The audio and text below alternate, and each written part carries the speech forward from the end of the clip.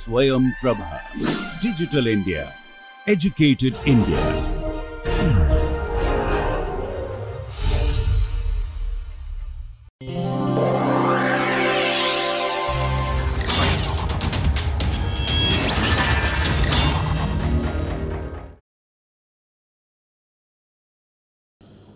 Welcome back to the lectures on uh, CY 1001 or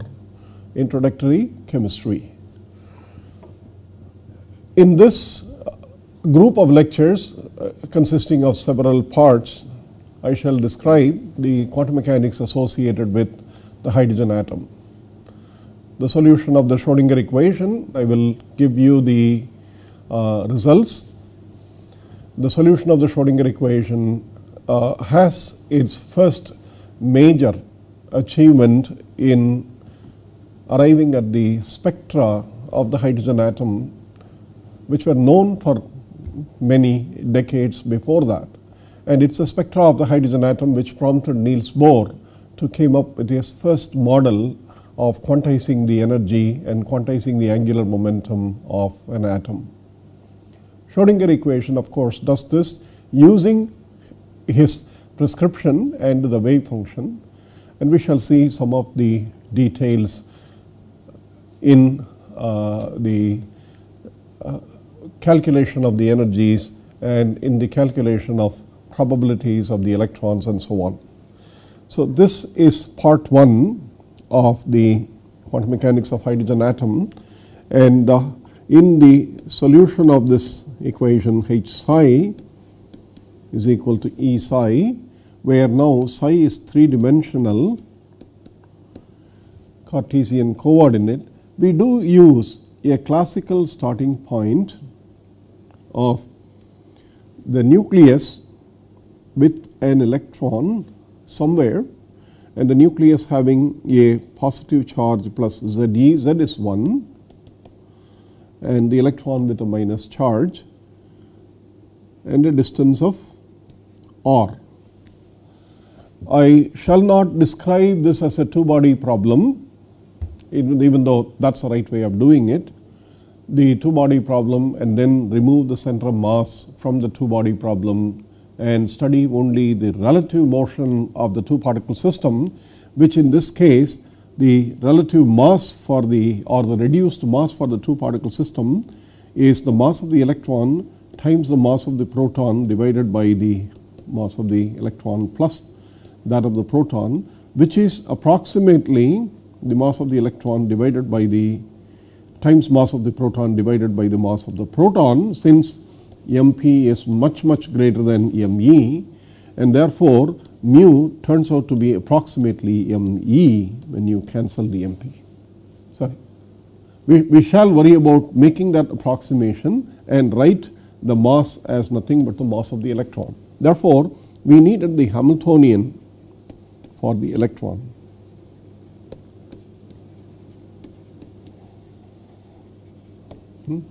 So, let us assume that the nucleus is stationary does not contribute to the overall kinetic energy of the atom that is already there in the center of mass which is not considered here. Therefore, if you write to the kinetic energy and the potential energy operator for the hydrogen atom it will be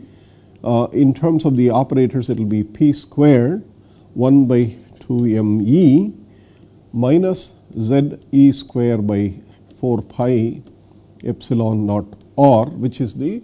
classical Coulombic uh, energy of interaction between the positive and the negative charge. And this p square which is an operator is given by p x square plus p y square plus p z square the three components of the momentum in a coordinate system which is probably fixed in the nucleus itself for arguments. And then of course Px is replaced by the derivative operators so that the Hamiltonian becomes minus h bar square by 2 m e dou square by dou x e square plus dou square by dou y e square plus dou square by dou z e square where these are the coordinates of the electron with respect to that origin and then you have the potential energy minus the d square by 4 pi epsilon naught r and r is in principle greater than 0 and less than or equal to infinity. At infinity of course the Coulombic interaction is 0. Therefore, here the boundary includes the entire three dimensional world the whole universe. So, the boundaries are explicitly x is from minus infinity to plus infinity, y is from minus infinity to plus infinity and also z is from minus infinity to plus infinity. So, this is the three dimensional region and the volume element that we talk about for the particle for the electron probability is the psi is the volume element is dx dy dz and then the probability is psi x e y e z e absolute square dx dy dz as the probability of finding the electron in the region or in the cube between xe and xe plus d x e y e and ye plus dye and ze and plus dze. This is the three dimensional Cartesian coordinate representation for the hydrogen electron problem, the nucleus electron problem. Instead of Cartesian coordinates, in the case of hydrogen atom, one uses spherical polar coordinates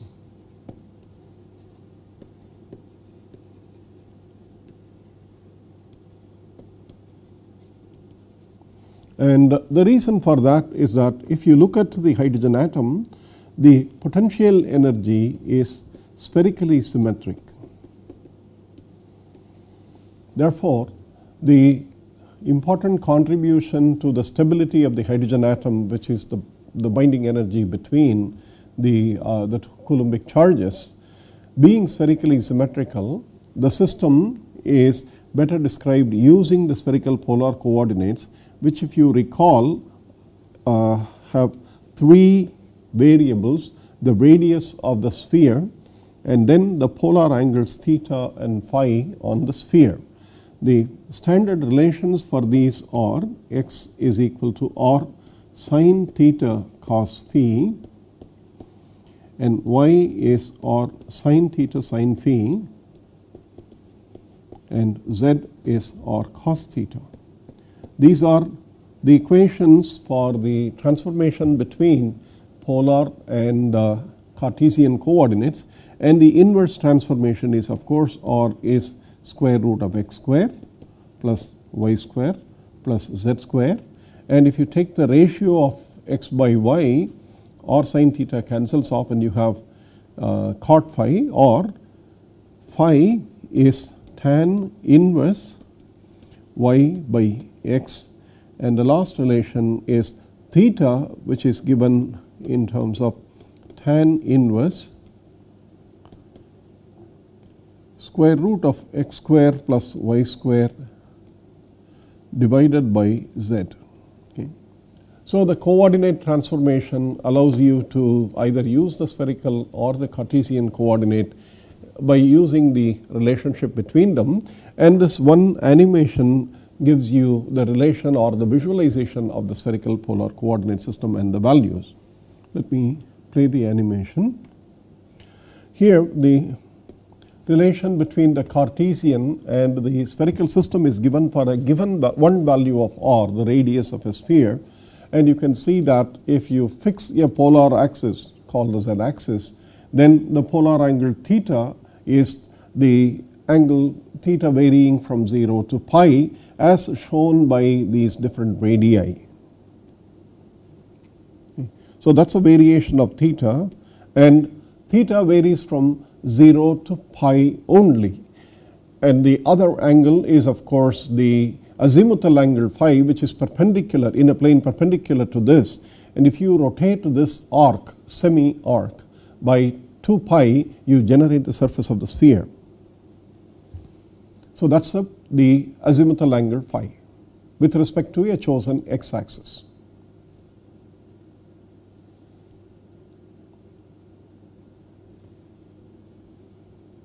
Okay. So, that is a spherical coordinate system in which you can see the variation in theta given by these different arcs and the value of phi corresponding to each one of these arcs starting from the x axis here at uh,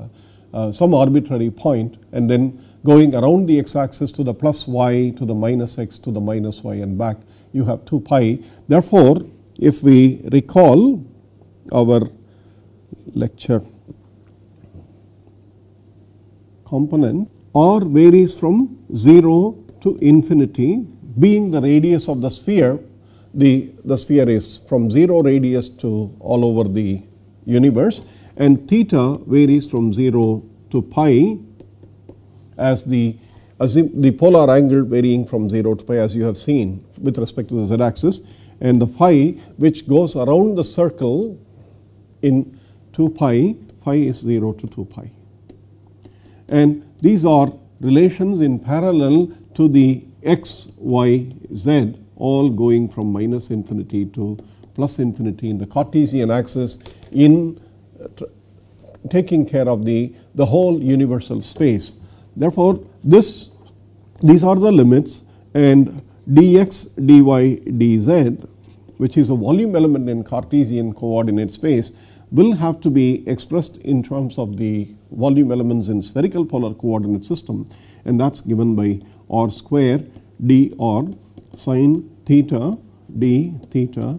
d phi. Those of you who are not familiar with this transformation must go back and look at the coordinate transformation and the simple differentials expressed from one coordinate to the other and the relations are given by what is known as the Jacobian,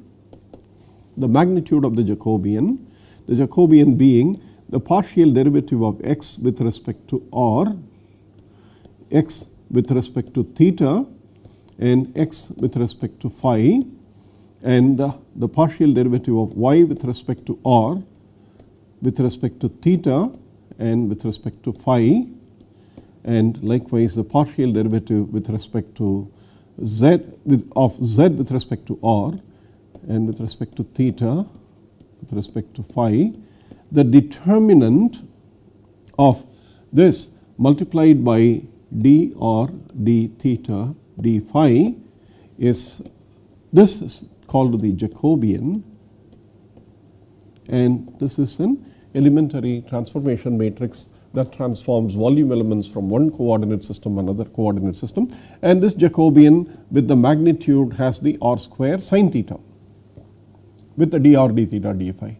Therefore, when you calculate the volume elements and when you calculate the probabilities using spherical polar coordinate system, if you are using Cartesian coordinates transform the relation from Cartesian to the polar and these are the mathematical formulas already well known and derived from elementary uh, differential uh, calculus. Keep this in mind. Therefore, now we have this Hamiltonian expressed in terms of minus h bar square by 2 m e dou square by dou x e square plus dou square by dou y e square plus dou square by dou z e square minus h uh, z e square by 4 pi epsilon naught or this needs to be changed to polar coordinates spherical polar coordinates.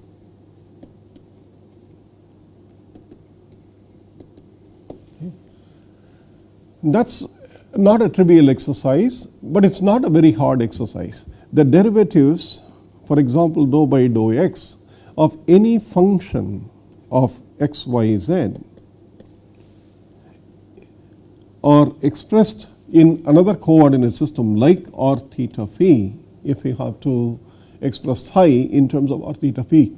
The derivatives are expressed using the partial derivatives of the coordinates with respect to the new coordinates. So, for example, dou by dou x of psi if you wanted to write the appropriate wave function in the polar coordinate namely psi x y z is replaced by the corresponding substitution of the x and y and z using r theta phi using this function, then there is a very simple partial derivative chain rule which tells you how to calculate dou psi by dou x as nothing other than dou by dou r with dou r by dou x derivative plus dou theta by dou x dou by dou theta plus dou phi by dou x dou by dou phi acting on the wave function psi or theta phi. So, this is the transformation of the derivative form of the Cartesian coordinate into the corresponding polar coordinates. And of course, you can calculate dou r by dou x, dou theta by dou x and dou phi by dou x from the inverse relations that you already have, already have that. Okay. From this you can calculate the derivative of r with respect to x, y and z, the derivative of phi with respect to x, y and z and the derivative of theta with respect to x, y and z. Therefore, the partial derivatives that you need to calculate for expressing the kinetic energy in spherical polar coordinate system involves three such quantities namely dou square by dou x square which is operating this once more, but being careful that the terms contain already r theta and phi and therefore, the partial derivatives have to be taken carefully and you have to do the same thing for dou square by dou y square and dou square by dou z square. Okay. Therefore, let me summarize this particular part of the lecture with the corresponding expressions namely dou psi by dou y as dou r by dou y dou by dou r plus dou theta by dou y dou by dou theta plus dou phi by dou y dou by dou phi acting on the wave function psi of r theta and phi. And similarly dou psi by dou z as dou r by dou z dou by dou r plus dou theta by dou z dou by dou theta plus dou phi by dou z dou by dou phi acting on the corresponding wave function psi or theta phi. These are the derivative equivalents and you calculate likewise the dou square terms, the dou square by dou y square terms and the dou square by dou z square term. So, the summary of doing that calculation and if you are doing it for the first time about 2 to 3 hours is what the time that you have to give in order to add all these terms and cancel and uh, arrive at the final form. But I will write the final magic form that everybody uses for solving the hydrogen atom Hamiltonian in polar spherical coordinates.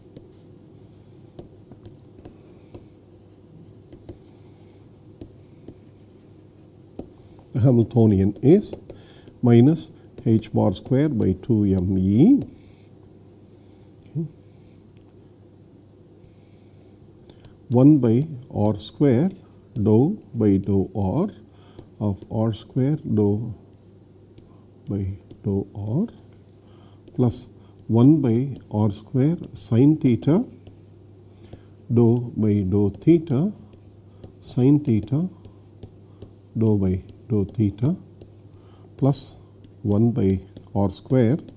sine square theta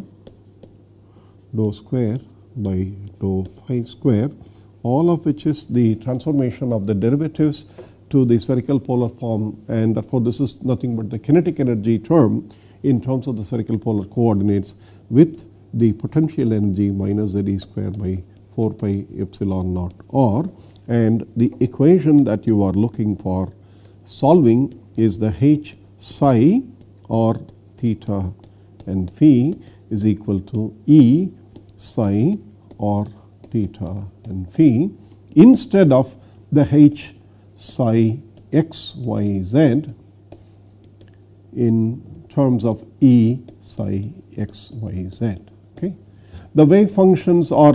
different in the different polar, different coordinate systems, but please remember the energy which is independent of the coordinate representation will not be different between different coordinate system. How you represent your coordinates should not lead to any changes in the eigenvalue for the hydrogen electron and therefore we the traditional method is to use the spherical polar coordinates and that allows the wave function to be separated into an r dependent wave function only a theta dependent wave function only and a phi dependent wave function only. If you recall the particle in the two dimensional box where we had an xy dependent wave function being separated into an x only wave function term and an y only wave function term and we were able to get the energies and the solutions etc. Therefore, separation of variables is far more detailed here in the case of hydrogen atom and let me stop with this as the focal point for the next part of the lecture on what is called the substitution of the wave function in terms of the three radial only, polar theta angle dependent only and azimuthal angle phi dependent only functions and how we separate this into three different equations. We will not solve them, but in the second part we will look at the solution and in the third part we will see some physical representations of the wave functions themselves, the real and the imaginary parts. So let me stop with part 1 here. We will continue exactly from this in the next part. Until then, thank you.